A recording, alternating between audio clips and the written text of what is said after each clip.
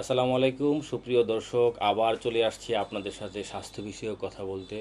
দর্শক, আজকে একটা গুরুত্বপূর্ণ বিষয়ে কথা বলব। অনেকেরই এটা অ্যাক্সিডেন্টালি হয়ে থাকে, অনেকে আত্মীয় স্বজনের বাসায় গেলে কখনো রাত্রে, মধ্যরাতের দিকে, কখনো সকালবেলা, কখনো দুপুরে এই ধরনের অড বা বিরক্তিকর সিচুয়েশন তৈরি হতে পারে, সেটা হচ্ছে গলায় কাটা লাগা। দর্শক গলায় কাটা লাগলে কি করবেন? এটা খুবই জানা জরুরি এবং আমি মনে করি সবার এই জিনিসটা জানা প্রয়োজন, গলায় কাটা লাগলে কি করবেন? গলায় কাটা লাগার কেন লাগে সেই বিষয়টা আমরা একটু কথা বলতে চাই।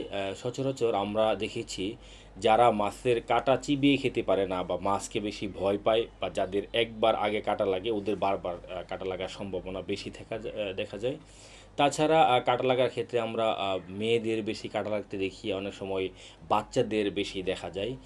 কাটা কোথায় লাগে? সচরাচর দর্শক, কাটা আমাদের দুই পাশে অনেক সময় টনসিল বড় হলে টনসিলের গায়ে কাটা লাগতে পারে, টনসিলের পিছনে কাটা লাগতে পারে।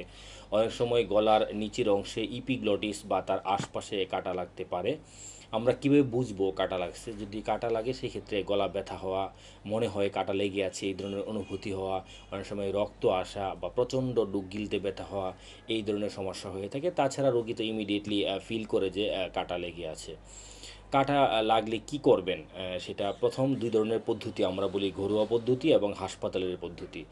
ঘরোয়া পদ্ধতি হচ্ছে যখন কাটা লাগবে, আমরা মোটা দানার খাবার খেতে বলি। যেমন কলাকে আপনার না চিবিয়ে ঢুক গিলার চেষ্টা করবেন, যেন আশপাশে কাটা কোথাও থাকলে সেটাকে ঠেলে নিয়ে পেটের মধ্যে চলে যায়। তাছাড়া বড় বড় ভাতের জরা তৈরি করা বা অন্য কোনো খাবার রুটিকে আমরা চিবিয়ে বড় অনেকগুলো অ্যামাউন্টের রুটি চিবিয়ে গিলের চেষ্টা করব। সেক্ষেত্রে কাটা চলে যেতে পারে। তাছাড়া যদি আমরা চোখের সামনে এবং জিব্বার কাছে দেখতে পাই, সেক্ষেত্রে হাত দিয়ে বের করার চেষ্টা করব।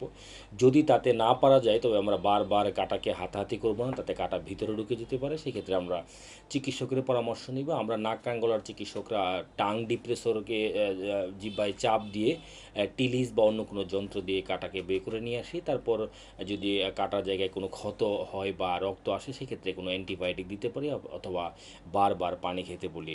সুপ্রিয় দর্শক আমরা একটা জিনিস গুরুত্বপূর্ণ কথা আপনাদের জানিয়ে রাখতে চাই। কাটা লাগলে কখনোই ঝাড়ফুঁক দিবেন না, ঝাড়ফুঁক কখনোই কাটার সমাধান হইতে পারে না। কাটার সমাধান আপনি কাটা বের করবেন অথবা চিকিৎসকের কাছে গিয়ে তার চিকিৎসা নেবেন। সুপ্রিয় দর্শক, আপনারা ভালো থাকুন, তবে সাবধানে মাছ খাবেন যেন গলায় কাটা না লাগে। কাটা লাগলে অনেক বিরক্তিকর এবং খারাপ অনুভূতি হয়, যেটা লম্বা সময় আপনাকে মাছ না খাওয়ার ক্ষেত্রে অনুপ্রাণিত অনুপ্রাণিত করতে পারে। সুপ্রিয় দর্শক, আপনারা ভালো থাকুন, সুস্থ থাকুন। আজকে এখানেই বিদায় নিচ্ছি। আসসালামু আলাইকুম।